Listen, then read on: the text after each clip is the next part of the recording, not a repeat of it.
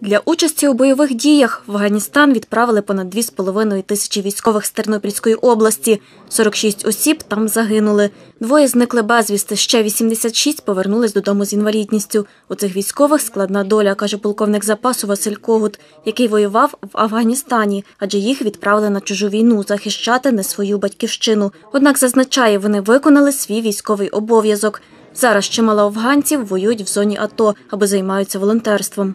Одним із таких зараз основних завдань, яким спілка займається вже 4 роки, це військово, е, військове співробітництво, волонтерська робота.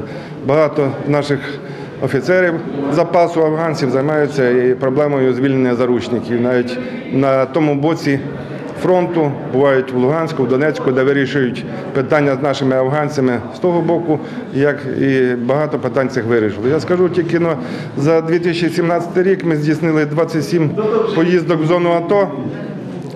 Фактично більше 70 тонн грузу завезли. Це не тільки продукти харчування, засоби гігієни, а в тому числі і спецобладнання, яке ми привозили з Німеччини, Польщі для саперів.